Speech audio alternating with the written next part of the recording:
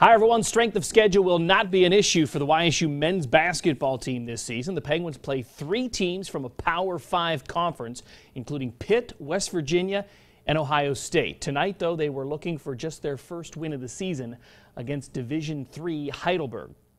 First ever meeting between the Penguins and the Student Princes. And boy, the Penguins came out firing. How about Devin Morgan to Ola Peterson? Who hammers it home, and Peterson just getting started. Dar Darius Quisenberry, another feed, another dunk by Peterson. YSU by nine. Quisenberry can shoot as well. He's open for three. And he drops that one. He had 16 points, but Heidelberg hung tough. Myron Pruitt is open in the corner for three, and he got it. The Student Princes cut this to three in the second half, but the Gwins too much down the stretch. Garrett Covington lays it in. He led the way with 21 points, then back in transition, Peterson with another easy lay-in. He had a double 14 points, 10 boards.